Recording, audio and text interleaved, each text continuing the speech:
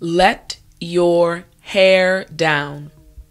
Welcome to day six of the special edition of Speak English with Tiffani. I am teacher Tiffani, and in this episode, I will teach you exactly how to use the English body idiom, let your hair down. Are you ready? Well, then, let's jump right in.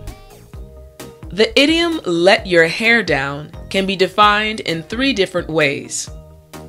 The first definition of this idiom is to behave in an uninhibited or relaxed manner.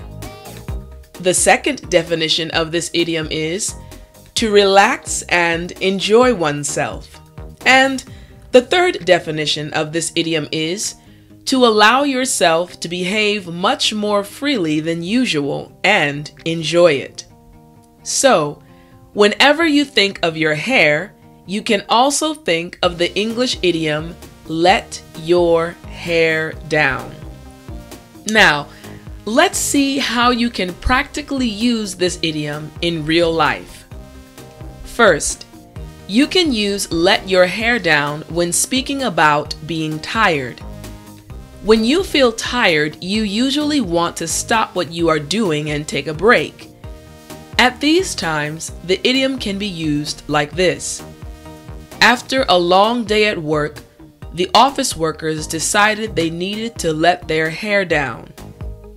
Second, you can use let your hair down when talking about unwinding. When people get home from a long day of work, they usually want to unwind and relax. At these times, the idiom can be used like this I had a really stressful day today. I think I'm just going to let my hair down. Third, you can use let your hair down when talking about how you relax. When some people talk about how they relax, they usually mention the best methods for calming themselves down. At these times, the idiom can be used like this Mandy spent the weekend letting her hair down by watching three movies back to back. Fourth, you can use let your hair down when someone is talking about their vacation. When someone talks about their vacation, they usually bring up the most enjoyable parts about the vacation. At these times, the idiom can be used like this I spent time at the beach, ate lots of food, and I really let my hair down. And finally, fifth, you can use let your hair down when speaking about weekend plans. When someone is discussing their weekend plans, they usually mention the most fun they had or will have. At these times, the idiom can be used like this It's Saturday night. Why don't you stop being so serious and just let your hair down for a change?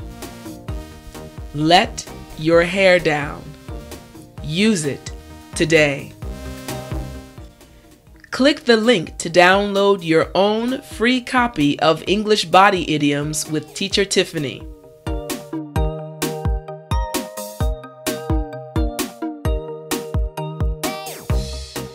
Remember to subscribe.